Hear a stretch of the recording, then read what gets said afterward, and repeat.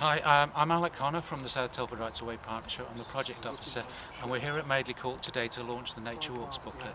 We got money from the Community Wildlife Fund of uh, Awards for All for this um, and we're doing a, a, a we've, we've, produced three booklets for Madeley, Stirchley Brookside and the Gorge. There's a thousand copies of each, they're free, they're available in local libraries, community centres, uh, parish council offices and to, we're launching the event here this morning at Madeley Court. We're going to do a 30 minute taster walk with um, various representatives from the council, parish council, uh, people who created the booklet for us, that sort of thing. And we're going to set off in about two minutes.